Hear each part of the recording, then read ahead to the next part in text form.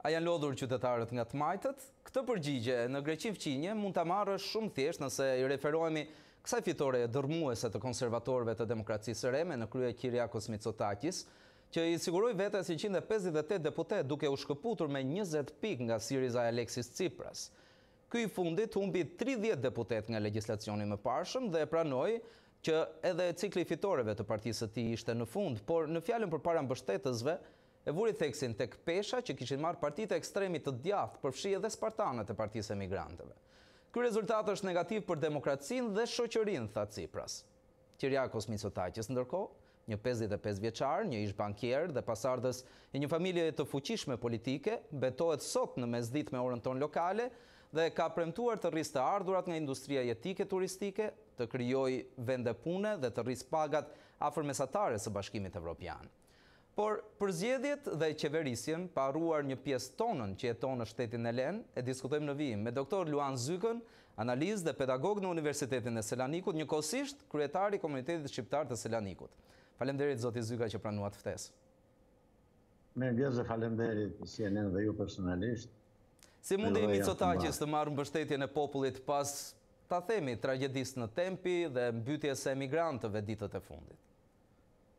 Po siç duket Mitsotaki bëri një menaxhim të mirë të situatës katërvjeçare që kaloi Greqia në kushtet e Covid, në kushtet e krizës së energjisë elektrike, në kushtet e luftës së Ukrainës, në kushtet e problemeve me emigrantët që vinin nga vendet e Afrikës dhe të Azisë.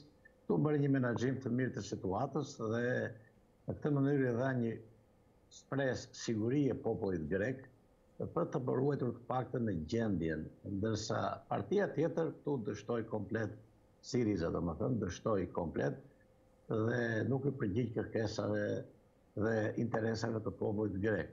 Por duhet të kemi parasysh që duke bërë një analizë tani për tani lëvizjes së trupës zgjedhore të Greqisë, duhet të kemi parasysh që në Greqi pjesa e popullsisë e cila ka një rol shumë të madh në në ndikimin e partive politike është qendra greke e cila llogaritet në masën 20, 25 për qind të trupit votues. Shumica e kësaj qendrës greke, e popullit domethënë e votuesve, e duket se shkoi për Nea Dimokratia, për demokracinë e re të Mitsotakit dhe braktisi Sirizën për këto arsye që thamë më tepër. Kështu që Siriza dështoi në atë që të japë shpresa reale drejt popullit grek, dështoi që të marri këtë forcë kaq të madhe votuese në pjesën e vet, si edhe Siriza ka gjynahet e së shkuarës, ku nuk ishte e rregullt, nuk ishte konkrete dhe reale me problemet që afronte koha, por kishte një amulli nga ana ideologjike, dhe një paqartësi për të ardhmen e Greqisë.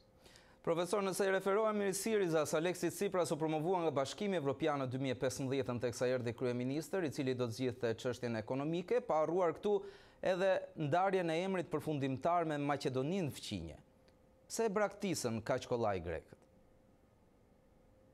Po, Thamë edhe, Siriza duke qenë një parti e së majtës, mos harrojmë që Siriza para 10 vjetës kishte vetëm 3% në popullin grek votues.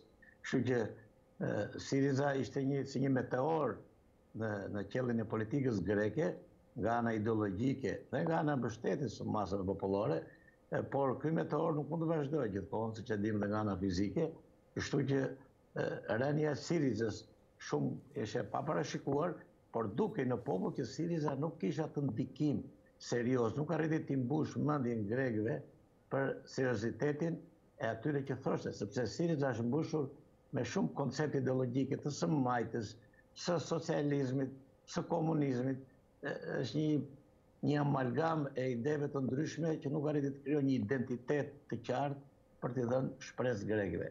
Kështu që Syriza mos harrojmë që ndoshta po kthehet në bazën e vet, filloi nga tre për qind, arriti të marri tridhjetë për qind, tani po vete atje ku ku ndoshta i takon, por koha do tregojë që Syriza do mbijetojë apo do kemi zhvillime të reja në të majtën dhe në qendrën e majtë greke, ku bën pjesë Syriza dhe PASOK-u. Numërimi është pothuajse në fund, por tanimë çdo gjë është përcaktuar, partitë e ekstremit u forcuan në këto zgjedhje, duke na sjellë ndërmend atë që në gjuhën e përditshme e themi largqoftit, agimin e artë të dikurshëm. A përbën rrezik kjo për parlamentin tetëpartiak grek? Po, në në opinionin grek të dielën, që mbrëmë në darkë ka shumë shqetësime për shfaqjen e disa partive të vogla, por me numër të konsiderueshëm deputetësh që të krijojnë situata në parlamentin dhe në jetën politike greke. Kjo në fakt po ta marrim nga ana logjike, ky numër i këtyre partive në përqindje përbën rreth 14%, por kaq ka qenë edhe para 6 vjetësh me parti të tjera. Por duke pas parasysh atë që ka bërë Agimi i Artë në Greqi, që doli hapur me me politikën e vet nacionaliste dhe të kujtojmë kohët e shkuara, politika greke do të kishte marrë masa më të zgjuara për ndalimin e këtyre partive të cilat mund të bëjnë dëm vetë demokracisë greke. Për shembull thuhet që me vërtet u bë një ligj para dy muajsh për mos hyrë partia e Kasidiarit në parlament, por nuk u bë një lëvizje nga ana e organeve ligjvënëse greke, konkretisht nga ana e prokurorisë greke, për të parë cilat janë këto parti, për shembull partia Spartiate, Spartanët, cila është kjo parti që për një muaj nga personi kryesor i kësaj nga 700 vota që merrte arriti të marrë 12 deputetë. Naturisht, kishte lëvizje si duket të nëndheshme në lidhje midis tyre dhe që përbën po një surprizë të këndshme për politikën greke. Por, koha do tregojë dhe nëse ky është vendimi i popullit grek, atëherë të gjithë ne jemi të detyruar ta pranojmë. Ky është sovrani dhe demokracia. Të tillë ishin edhe Agimi i Artë, por po ishte gjykata ajo që vendosi në vend të drejtën. Ndërkohë një sërë shqiptarësh po garuan në këto zgjedhje, profesor. Cili ishte fati i tyre?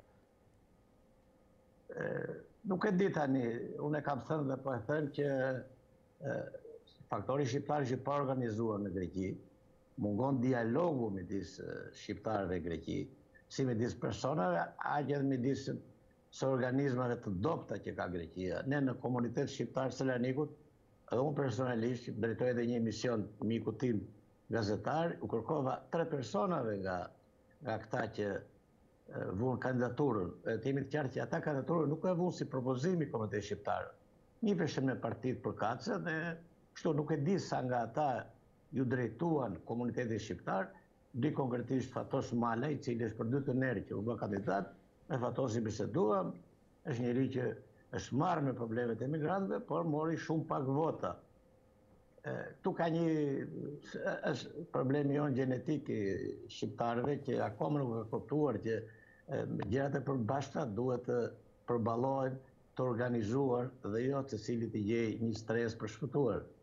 Kjo është zgjedhja e shqiptarëve, mua më vjen shumë keq, u përpoqim që neve të ndihmonim aq sa mundëm, por duhet të kemi parasysh që mos dua të them emra, kur i propozova dy prej tyre që të vinin në komunitetin shqiptar të Selanikut, të diskutonin, nuk erdhën. Kështu që ne s'kemi një detyrim sepse tjetri ka prejardhje nga Shqipëria. Kjo nuk ne nuk bëjmë në bazë të gjakut, bëjmë në bazë të ideve dhe të kulturës, nuk mjafton gjaku dhe gjuha.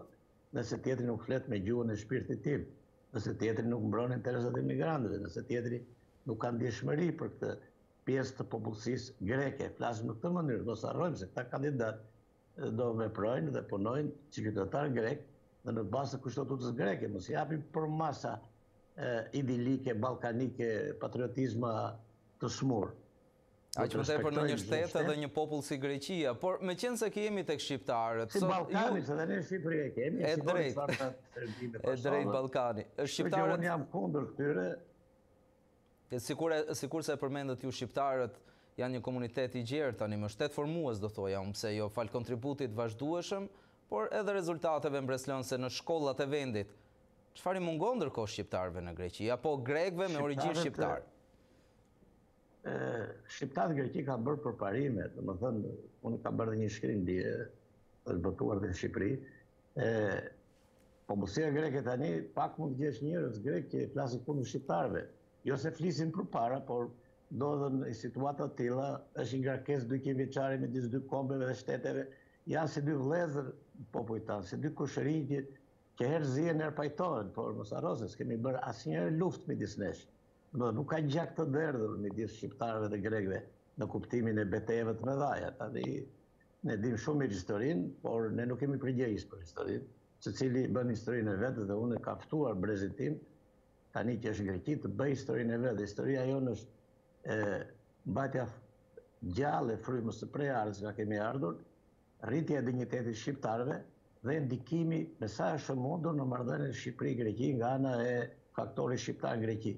Duhet thënë që shumë politikanë grekë, ne kemi biseduar me shumë politikanë para zgjedhjeve, të cilët na kërkuan dhe ndihmë nga të gjitha krahët politike, kur i thoshim ne problemet kryesore që kanë emigrantët, me letrat, me legalizimet, me problemet në punësim, me problemet që i ka dhe shoqëria greke, mos i quajmë se po bëhet një politikë e veçantë ndaj emigrantëve, jemi të qartë. Dhe çuditeshin, sepse ishin probleme të ekzistencës njerëzore dhe jo probleme të thjeshta të padrejtësisë, se padrejtësi ka kudo, nuk është vetëm Greqia dhe Shqipëria me padrejtësi dhe një vend, sa më pak i zhvilluar të jetë, aq më shumë padrejtësi ka. Kështu që i përket rolit dhe faktorit shqiptar që duhet të ndërgjegjësohet dhe të ndërgjegjësojë shoqërinë greke për problemet që ka. Ne e kemi bërë këtë me aq sa mundemi si komunitet shqiptar i Selanikut, kemi bërë takime në prefekturë, po kemi Jemi drejtpërdrejt në këto momente, profesor Luan Zyka na bashkohet nga Selaniku, po tani ju dëgjojmë, ju dëgjojmë. Janë disa probleme të cilat kanë të bëjnë me dinjitetin njerëzor, kanë të bëjnë me ekzistencën e familjeve shqiptare dhe as nuk e meriton faktori shqiptare i cili ka një kontribut kaq të madh në Greqi dhe aq më shumë nuk është në nderin e shoqërisë greke që të ketë në gjirin e tij një popullsi prej 200.000 më shumë personash, 300.000 emigrantë, të cilët një pjesë e madhe ose një e treta janë me nënshtetësi greke, nuk e nuk e nderon që kjo pjesë e popullsisë të jetë e mënjanuar nga gjithë shoqëria greke. Kështu që ne kemi për të bërë një rrugë të gjatë, por s'kemi rrugë tjetër. Kjo është rruga për dinjitetin tonë dhe për përmirësimin e kushteve të punës, të jetesës dhe dinjitetit të emigrantëve shqiptarë në Greqi. Kyriakos Mitsotakis rikonfirmohet si kryeministër i vendit. Nikos Dhendhias po ashtu, ministër i jashtëm i Greqisë. Çfarë do të thotë kjo për marrëdhëniet dypalëshe, duke pasur parasysh edhe deklaratat e ditëve të fundit, duke u bazuar tek zgjedhjet tona? Mitsotakis natyrisht i përket nga ana, një familje e cila ka shumë kohë që është në krye të udhëheqjes së politikës së Greqisë, mos harrojmë që një damar i Mitsotakis është nga Venizelos, Mos harrojmë që e ëma e Mitsotakis ishte arvanitase. Këto janë vetëm për folklor, nuk ka të bëjë kjo me një staturën politike të një politikani modern. Mitsotakis është njeri i shkolluar në, në Amerikë, në Harvard. Mitsotakis me ç'thonë lajmet dhe njerëzit që e njohin nga afër, po përpiqet që të afrojë qendrën e djathtë greke, që të jetë njeri sa më luajal për të përmbushur kërkesat e, e zhvillimit të Greqisë. Natyrisht do të kemi parasysh në fushata zgjedhore, thuhen dhe gjëra, besoj, të cilat janë të skajshme, thuhen gjëra për konsum politik, por Shqipërisë i duhet patjetër të bashkëpunojë sa më afër me faktorin grek dhe me partinë që ka pushtetin, duhet sa më afër të bashkëpunojë me Mitsotakis dhe të hapi gjëra të cilat mund të hapen dhe mund të zgjidhen. Natyrisht mosmarrëveshje do ketë, dhe nga ana tjetër Dhendhias me sa thuhet nuk do jetë më ministër i jashtëm, mund të jetë ministri i mbrojtjes i Greqisë, për ministër të jashtëm siç duket me lajmet, po nuk i dihet, kjo mbasdite do dali përbërja e qeverisë së re, se në orën një Mitsotakis merr mandatin nga presidentja e Republikës dhe mbasdite shpall qeverinë e re. Ministër i jashtëm thuhet se do jetë zoti Gjerapetritis, që është nga bashkëpunëtorët Ngushtë të Mitsotakit dhe njeri serioz. E njoh politikën greke jo shumë, por njeri i cili ka shërbyer me seriozitet dhe me dinjitet administratën greke. Koha do të tregojë si do përballojë Mitsotaki problemet e mëdhaja që ka Greqia, se Greqia ka probleme shumë mëdhaja zhvillimore. Mitsotaki nuk mund tani të bëjë një politikë sociale, siç bëri këto tre katër vjet, të cilat i lejoi Bashkimi Evropian, ju dini Bashkimi Evropian ka parametrat e veta të politikave sociale, të trajtimit të buxhetit e tjerë e tjerë, dhe nuk mund të bëjë politika të tilla me dhënien e shumë mbështetjeve sociale për të gjithë kategorive të popullit. Dhe emigrantët përfituan, të gjithë përfituan por ishin në kushtet e emergjencës të Covidit, luftës Ukraina e tjerë tjerë, kështu që tani Mitsotaki përballet Tani më me realitetin grek, mos harrojmë që në vitin 32 Greqia duhet të, të lajë borxhin që ka. A ka mundësi ekonomia greke të lajë borxhin që ka marrë për të përballuar kolapsin e viteve 2010. E treta, Greqia duhet të lëshojë paketën e investimeve në që të thithë investimet. Dhe duhet thënë që në zgjedhjet e para që u bënë në, në maj, fitorja e Mitsotakit u prit shumë mirë dhe pozitivisht nga Bursa e Athinës dhe nga investitorë të huaj, kështu që besojmë që fitorja e Mitsotakit do jetë një shenjë e mirë për thithjen e investimeve serioze direkte në shtetin grek. Zoti Zyka, faleminderit që ndatë me ne gjithçka në lidhje me zgjedhjet, por edhe atë që pason. Faleminderit dhe ju, një ditë të mbarë, javë të mbarë. Faleminderit.